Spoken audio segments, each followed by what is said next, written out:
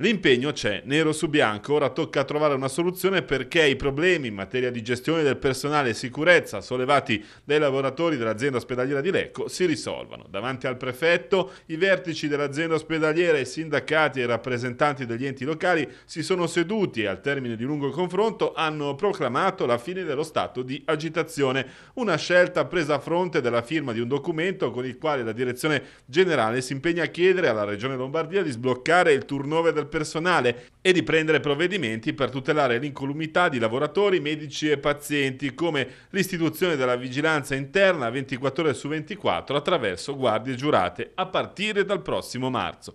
Per noi è un buon risultato, commenta Massimo Copia della funzione pubblica Will. Ora vigileremo perché vengano attuate le nostre richieste. Soddisfatta dell'esito dell'incontro anche la CGL un vertice positivo anche secondo la direzione generale. Riprendono le normali relazioni sindacali, questa è la cosa più importante per noi.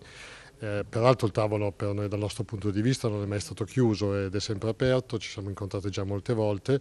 Abbiamo raccolto certamente alcune preoccupazioni da parte sindacale che esistono e sono anche peraltro dire, giustificate, particolarmente il periodo invernale ha visto un particolare impegno degli operatori uno straordinario impegno degli operatori che voglio anche approfittare dell'occasione per ringraziare. Ma certamente i problemi si risolvono confrontandosi, ecco, non con le distanze o creando delle barriere.